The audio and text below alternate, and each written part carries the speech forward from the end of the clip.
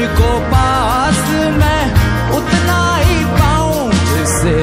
दरिया का पानी